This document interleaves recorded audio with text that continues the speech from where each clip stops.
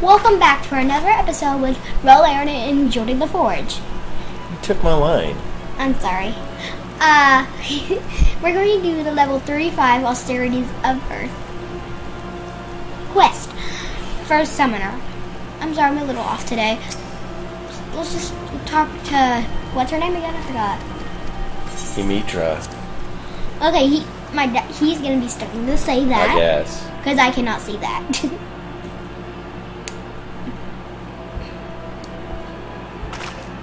What's the name of this quest? Austerities of Earth. What do you think will we summon? Um. Oh great, now it's Hearted Honey. Are they getting old? All right. So you have to cast Bio like I did in Miasma. Okay. I always do that at the start of a fight. Of course. But on the middle, I never do it. Not once. And I do it at the start and the end. Okay, so why are you using Ifrit-Egi instead of Topaz Carbuncle? Because Ifrit is stronger than Topaz. Oh. Well, you're taking damage this time. Not that much. Alright, so a Stone Shiver came up. So you switched to it and killed it. Yeah, because it does more damage. There's another one. And they're really easy to kill, but they do uh, a lot of damage. Alright, so you have Bio and Miasma on it. No, that was by I had Bio on it. Uh, No, I didn't have Miasma. Um, yes, Menthia had Arrow. Okay, so Now- now you have Bio and Miasma on. I, no, I don't. I, no. But Alright, so what's happening here?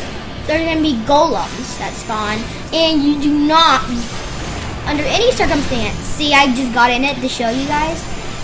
You do not want to get in it. It gives you a debuff. Oh. You mean in the circles? Yeah. Okay. Oh, Tynunji's just about dead or destroyed. But there is another fight after. Yeah, as a summoner, make sure you keep up Bio and Miasma Unless the enemy, all the time. unless like it falls off and there's like one percent left. You don't have to.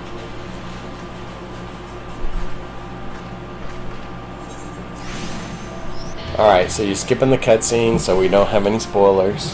Just so you warn, you're not supposed to attack Ifrit-Egi. You're supposed to attack the Dark Summoner. At the time, I did not know this. I'm summoning. I'm doing summon two because I, I, I'm thinking that Titan-Egi is gonna appear, but it doesn't. It doesn't appear until you completely turn in the quest.